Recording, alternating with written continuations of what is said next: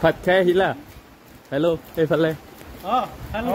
কেনেকুৱা লাগিল? একদম মজা। আমি আজি গেংটক বহুত এক্সপেঞ্চিভ হয় কিন্তু কোনো মতে পালো বেংগলী হোটেল এখন। খুব ভাল লাগিল। খুব ভাল লাগিল আৰু।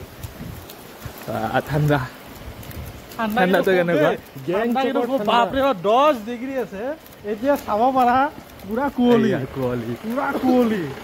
আৰু বৰষুণ নন ষ্টপ আৰু জেগাখিনি ইমান ধুনীয়া।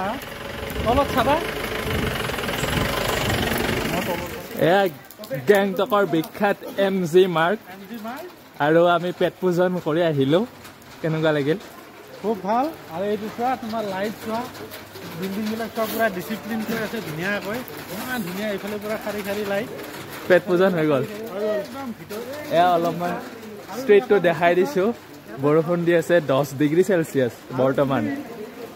যদি ইয়াতে বহি তুমি গোটেই ৰাতি থাকিব পাৰা এইটো কোনো প্ৰব্লেম নাই। ৰাতি একো প্ৰব্লেম নাই। তোমাৰ ধুনীয়াকৈ শাৰী শাৰী পুৰা ডিচিপ্লিন ডাষ্টবিন আছে। গোটেই তুমি চাফা চোৱা কতো একো লেতেৰা নাই।